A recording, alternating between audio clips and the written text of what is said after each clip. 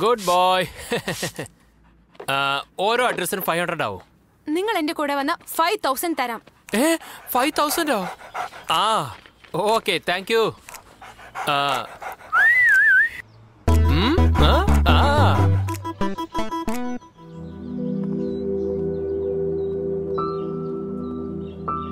ബോബി ദേ വരുന്ന സ്കൂബി. ഫ്രഷാ എത്ര ഏജ് ത്രീ മന്ത്സ് ഡോക്ടർ ഇത് വളരെ ചെറുതാ. ചൈൽഡ് അബ്യൂസ് കേസ് ആവും ലെറ്റ്സ് ഗോ ഓ. താങ്ക് യു വാട്ട് ഹാപ്പൻഡ് ഏ? നോക്കിയത് മതി വാ. യെസ് പോവാം. Doctor കേസേ have. Good good hi hi ദേ നിന്റെ ആൾ വന്നു. മെയിൽ ഡോഗോ? പേരും ഏജും മെൻഷൻ ചെയ്തിരുന്നു. പക്ഷെ മെയിലാ ഫീമെയിലാ എന്ന് മെൻഷൻ ചെയ്തില്ല. ഇപ്രാവശ്യം ഇത് വെച്ച് അഡ്ജസ്റ്റ് ചെയ്യാം. ഇത് വേറെ കേസാവും ഡോക്ടർ തെറ്റില്ല എന്ന് സുപ്രീം കോടതി പറഞ്ഞിട്ടില്ലേ? ആ ഐഷു. ഐഷുന്നോ ആ നന്നായി അടുത്താ പിന്നെ മുഴുവൻ പേരൊന്നും വിളിക്കില്ല. നല്ല പരിചയത്തിന് ശേഷം ഫീസ് കൊടുക്കാൻ എനിക്ക് ഇഷ്ടമല്ല ഇത് നോക്കൂ ഐശ്വര്യ? ഇനി സിറ്റിയിൽ ബാക്കിയുള്ളത് ആ ബീർബായുടെ നായ മാത്രമാണ്. അതെനിക്ക് കംഫർട്ടബിൾ അല്ല. ഇംപ്രസ് ചെയ്യൂ. എന്നുവെച്ചാ നിങ്ങളുടെ ബോബി ആണാണ്. ആ ബീർബായും ആണാണ്. ഇതിന്റെ ആഗ്രഹം അതിന് വന്നാ?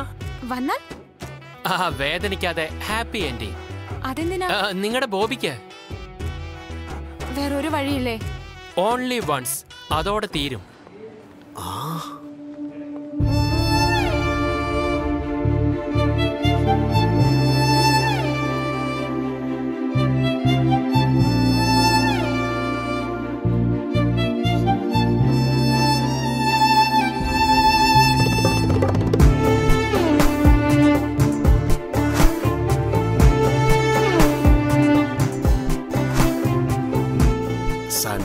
സാരി എടുത്ത് വന്നതുപോലെയല്ലേ സാറേ? അവളുടെ ഭംഗി കാണുമ്പോ എനിക്ക് തന്നെ അസൂയ തോന്നുന്നു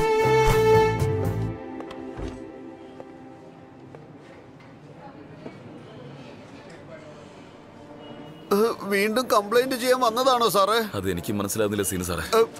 എല്ലാത്തിനും എല്ലാത്തിനും ഈ വായ കാരണം.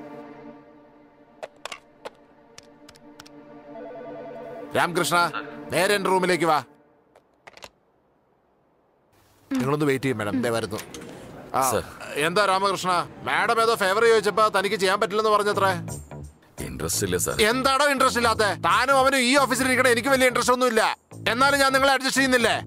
ഇപ്പൊ അഡ്ജസ്റ്റ് ചെയ്യാണെങ്കിൽ ഭാവിയിൽ ഞാൻ ഒരുപാട് സഹിക്കേണ്ടി വരും സാറേ എന്ത് പ്രോബ്ലംസാ അങ്ങനെ ചെയ്ത പ്രഗ്നൻസി ആവുന്നല്ലേ? ഞാൻ കോണ്ടംസ് കൊണ്ടുവരാം. ആ രാമ രാമ. എനിക്ക് ഇൻട്രസ്റ്റ് ഇല്ലെന്ന് ഞാൻ പറഞ്ഞതല്ലേ? ഓ ഫ്രീ ആയിട്ടൊന്നും ചെയ്യണ്ട. വൺ അവറിന് എത്രയാന്ന് പറഞ്ഞാ മതി. രാമ രാമ! ആ. വീടാണോ പ്രശ്നം? റിസോർട്ട് ബുക്ക് ചെയ്യാം. രാമ രാമ! നിങ്ങൾ എന്തൊക്കെ പറഞ്ഞാലും എന്റെ മനസ്സ് സമ്മതിക്കുന്നില്ല. ഒരു പെൺകുട്ടി ഇത്രയും താഴെ ഇറങ്ങി സംസാരിച്ചിട്ടും ഒന്ന് മനസ്സിലാക്കിക്കൂടെ?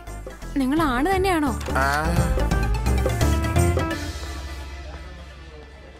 രാമകൃഷ്ണ.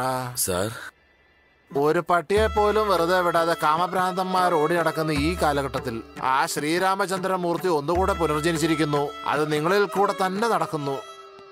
സാറ് വേറെ രീതിയിൽ ചിന്തിക്കാന്ന് തോന്നുന്നു. പ്ലീസ് ഒന്ന് മനസ്സിലാക്ക്. ദൈവം തന്നെ വിട്ടേക്ക്.